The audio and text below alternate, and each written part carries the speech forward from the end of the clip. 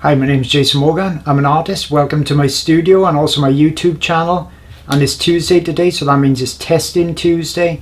And today I'm going to test out something a little bit different. Recently I've been starting to, to draw on toned paper. So I've been using things like Bic pens and uh, the black Gelly Roll pens. And then for the highlights, I've been using these new white pens that I've found.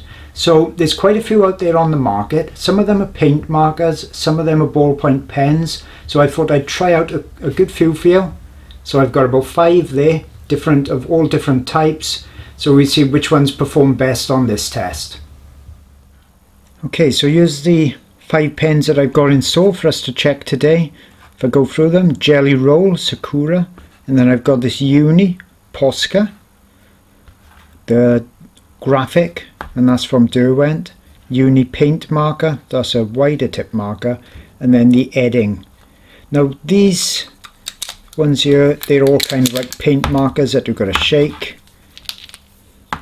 So they are more like a paint, and this Gelly Roll is pretty much what I've found online to be the most popular rollerball white pen. So that's really the only pen, these are markers. I'm using two different types of paper. I've got the Strathmore art again. That's a real good quality, real dark black paper. That's great for things like pastels, charcoal. And then I've got this much cheaper black paper. You can see it's nowhere near as dark. And that's by Frisk. Now I'm using two papers because they do feel much different. So let's have a little go first with a Gelly Roll. Just an almost standard writing. So I'm not going slow or anything at all with that. It's nice and white. Let's try it on this paper too.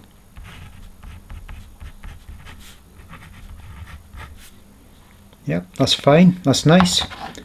Let's have a look at this Uni Posca. Now I've I've shaken all these pens and I've pumped them. Usually you've got to push them down and go up and down a few times to get the the ink or the paint to start to flow. So I'll do this one too. Feels very similar to the Gelly Roll. Now some of these are meant more for, I think, things like glass rather than paper, but I thought I'd give them all a go. The Derwent Graphik.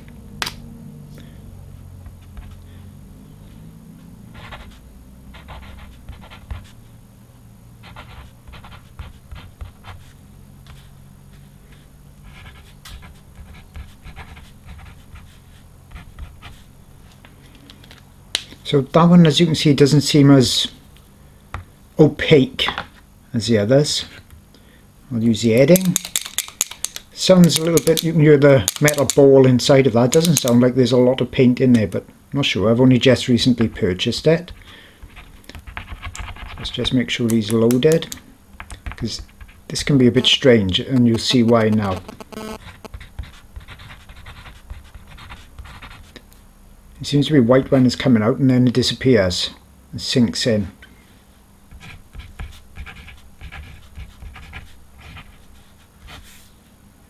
Not so much sinking in on that, or is it just because this paper is much more black? The Uni Paint marker, now you can get this in a fine tip, but I, I couldn't see one in my local store, so I've had to get this wide tip.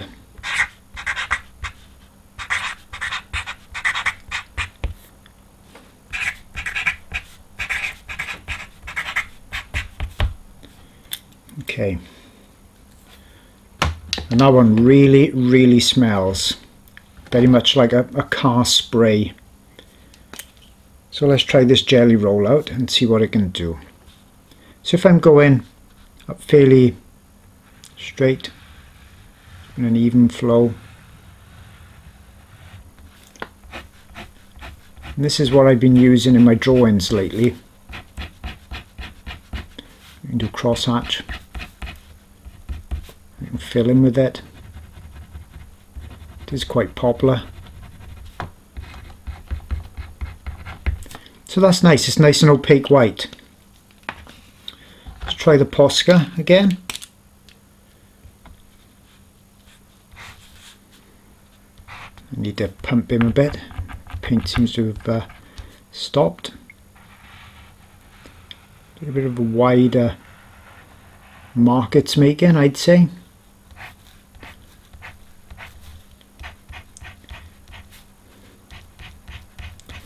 So that's pretty good too. Very similar to the Gelly Roll.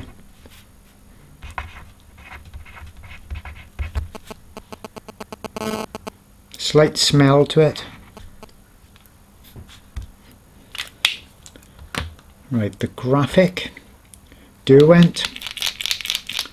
You know, these these Graphik pens seem to be really good. The only problem I'm getting with the white, now I don't know if I've got a defective pen or something, is get a bit of tissue.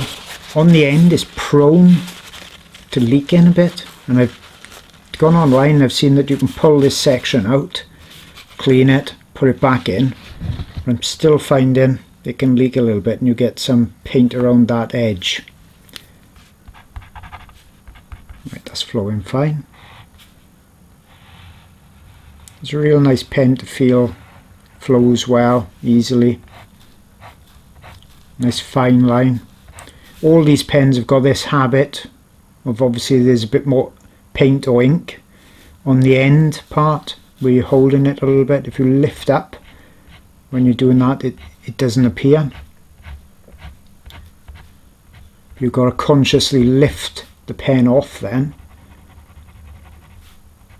So this pen this Derwent is really nice. As long as you keep an eye can you see that? Starting now. The ink the paint is coming out there. See it?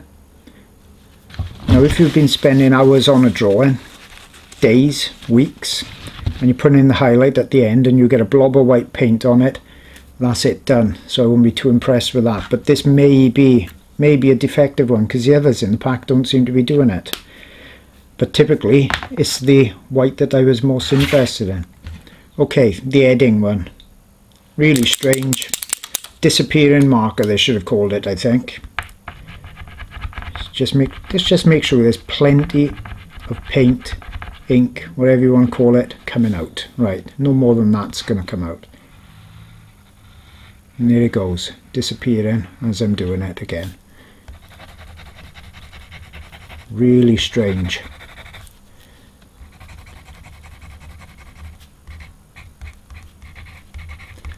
Not suited to paper by the seam of it. And the uni paint. This as well doesn't seem to be suited to paper. Perhaps it's more suited to things like glass. Once I've done that, now I'm just going to quickly do it on this cheaper paper as well.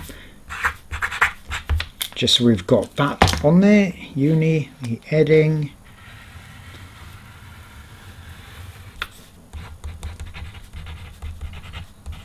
doesn't seem to disappear as much on this paper. It's not great though for sure. Graphik.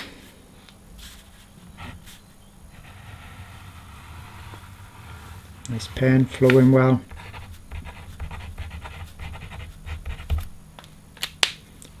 and these pens can be quite a few pound each as well. So it's worth knowing what's going to be good what's worth you spending your money on and what's not. And finally the Gelly Roll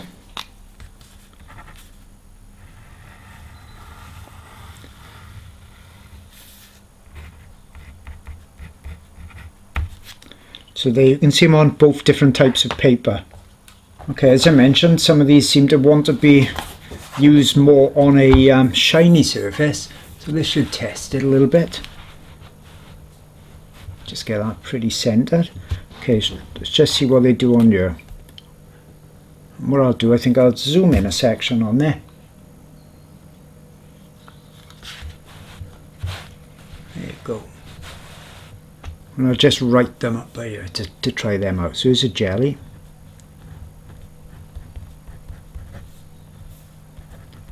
Okay, that one doesn't want to go on there. So that's really suited to the paper. It's a Gelly Roll. So with the Posca, I expect these will perform better on you now.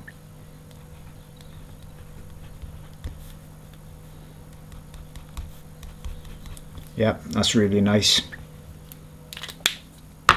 So different things are suited for different substrates and surfaces. Derwent.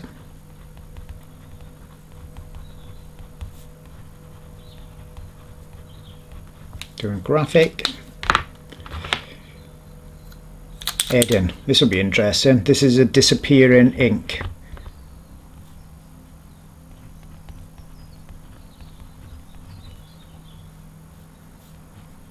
So yeah, you know, it, this is for glass, metal and plastic, but I wanted to try it alongside the others on paper, just to see, because you never know how these are going to perform. This is the Uni Paint. This reminds me of one of those um, markers that you can get for on chalkboards. Okay, let's move that out of the way. In fact, what I'll do, I'll turn it over like that because some of these are going to be better for glass. So let's have a little look on glass. I don't expect this to work at all, the Gelly Roll. No, okay, I wasn't expecting that. That's for paper. Okay, let's try this Posca.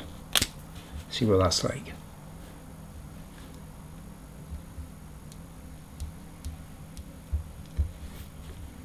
So that works on glass.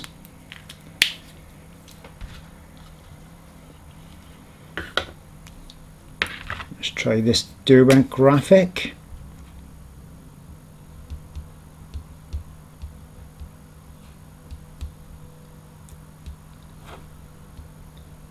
Seems pretty good on glass too, if they dry. Let's get that Posca on. Let's uh, fill a little section in with that too.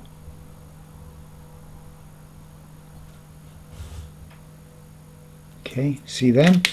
The Edding, I should imagine this will work on you. Let's just make sure he's loaded. This one seems to need to be loaded frequently.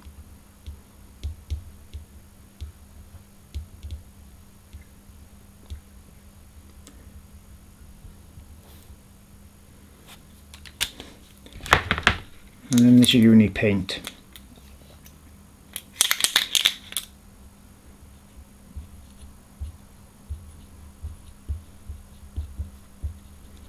What I'm going to do is just allow those to dry now for a few minutes and we see how they stay on that glass. Okay, so I've dried off this um, white paint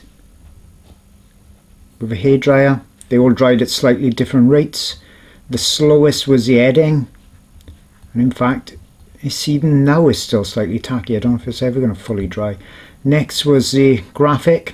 That stayed tacky quite a long time then the Posca, then the Uni Paint. So the Posca, the Uni Paint is a little bit too, uh, it's not opaque enough for my liking. The Posca, really fine line as well, like that, dried really quick. Really nice and opaque, as you can see. So they've all cooled down as well. I'm just going to try and scrape them off with my nail just to see which ones are adhering to the glass the most. So that uni paint that's not coming off at all. The Edding that's, that's on there quite well. I'm rubbing pretty hard. It is coming off because it's, it's still not really rock solid. The Graphik. That's coming off. And then the Posca. Unfortunately that's coming off easily I suppose you could varnish over that, couldn't you? And, and that would seal them all in, really. Perhaps that's what you need to do. I don't I don't work with glass. It's just something I thought may be of use to somebody. But the uni paint, that's really on there. But then it's not very raised. It's not that thick. The others I can remove. Okay. So if you're going to paint a draw on something that's very glossy. Gelly Roll is no good. It's probably not, it's not meant for that surface anyway, so I'm not surprised. Posca, I would say, and the Edding are the best. The Posca is probably the best one there. If you're using them on paper, lots of these are not meant for paper. I don't think. Sometimes their websites don't really say what they're for, so it's up to you to try. They're just saying whether they're oil-based or water-based.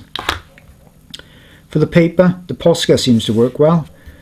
The Gelly Roll, as I thought, performs probably the best of the lot. Plus, it is just a pen with white ink in it.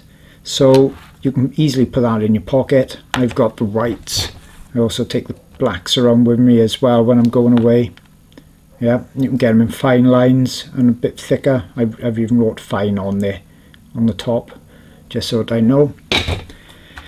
So that Gelly Roll is really easy to use, easy to take with you. The Posca then is probably going to give you another nice line. Doesn't seem to be much more opaque really than the Gelly Roll. And then the opacity goes down quite substantially then with the Graphik. The Edding doesn't work on paper. The Unipaint's not really for paper either. So out of today's tests I'd say Gelly Roll and the Posca really perform the best. Well according if you want to specifically work in glass and then it may be worth looking at the Unipaint which also comes in those fine lines, a finer tip as well. There are lots of other pen type white whites out there similar to the Gelly Roll but from every review I've seen the Gelly Roll really comes out on top so I didn't see the point in duplicating those tests. So hope you've enjoyed that and hope you found it of use. Hope you've enjoyed this short video. If so, you may like to go over to my website jasonmorgan.co.uk. There I've got lots of full-length feature videos on techniques and tips. I've got ebooks, I got 800 reference photos, all with the new Easy Trace line art and so much more. So that's jasonmorgan.co.uk. Also on YouTube every Friday, I've got Free Photo Friday. Every Thursday, I'm doing art book reviews. And every Tuesday, it's tips and also art product reviews. So don't forget to come back soon.